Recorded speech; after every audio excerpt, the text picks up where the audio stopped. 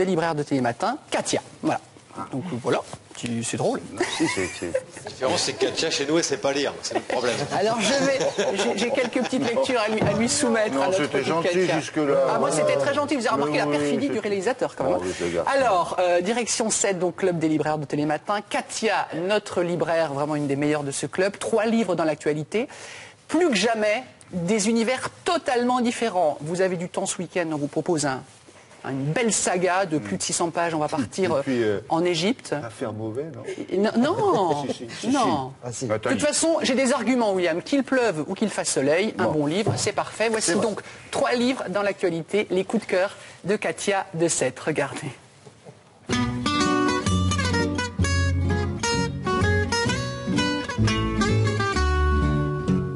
Je vous emmène en voyage en Égypte avec un roman fabuleux, Jour d'Alexandrie, de Dimitri Stéphanakis, aux éditions Viviane Ami. Nous sommes à Alexandrie, début des années 1900. Nous allons aller jusqu'à 1960, une période de Nasser.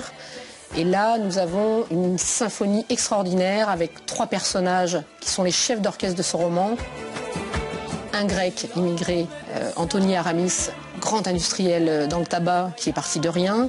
Son grand pote, euh, le Libanais un peu filou, euh, alias Kouri, qui est extraordinaire. Une femme, bien entendu, hein, dans ce roman, Yvette Santon, française, qui, euh, tient des, des- des maisons de charme. Pendant tout le roman, on va suivre ces trois destins. Donc trois destins, trois familles. Et donc, dans des périodes difficiles. La Première Guerre mondiale, la Seconde, quelles seront la position des uns et des autres? On sort de ce roman, on se sent plus intelligent. On a l'impression d'avoir appris plein de choses et on a appris plein de choses. Moi, je me suis vraiment régalée. Très gros coup de cœur pour un album qui s'appelle La fête des deux mamans d'Ingrid Chabert et de Shadia Loeslati aux éditions Les Petits Pas de Ioannis. Idiot qui ne comprend pas. La légende Cette maison d'édition a fait des choix audacieux. Après avoir traité euh, le handicap chez les enfants, le deuil, euh, l'écologie aussi, euh, j'ai choisi de vous présenter La fête des deux mamans qui traite de l'homoparentalité. l'une être mère. A deux mamans, mais au centre aéré, malheureusement, euh, pour la fête des mères, on lui donne un seul cadeau à fabriquer. Alors comment vont réagir les deux personnes qui l'aiment tant et qui l'attendent à la maison? Je vous invite à lire l'album pour savoir comment ça va se finir. Texte très doux, illustration très tendre. Euh, ce n'est pas un texte militant, c'est juste une histoire d'amour.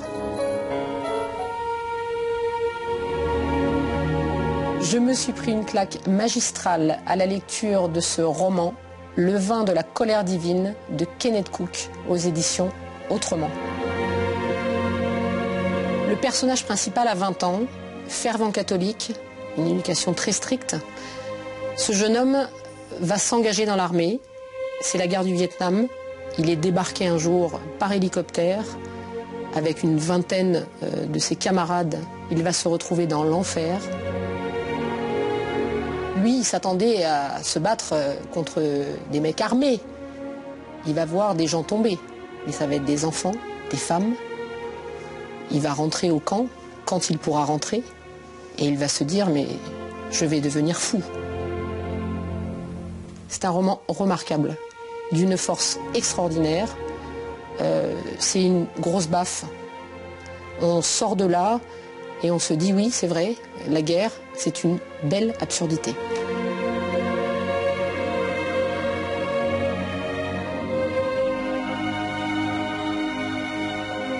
Je sais pas pourquoi, mais le, le dernier, là, on en donne envie. hein, Oui, oui, mais alors, faut que vous ayez la patate quand même. hein. Ah bon?